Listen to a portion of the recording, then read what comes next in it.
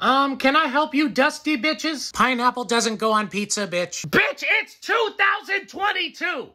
2022 and we still having this argument, bitch? That's right, bitch, because there's some things you just don't fuck with. And pizza is one of them, bitch. Okay, cheese, I don't even understand why you're here. Anybody who orders a cheese pizza as a grown adult has the palate of a five-year-old. Well, anyone who orders a pineapple pizza has no hoes and is always talking about, hey, where's my hug at? I'll kill you, bitch! Bitch, this has to stop. Look at what you're doing to pizza. I never asked to be like this, bitch. You know what? The next time y'all are having a Hawaiian luau, don't come to me, bitch. Keep that same energy. Bitch, I'm fighting for my fucking life.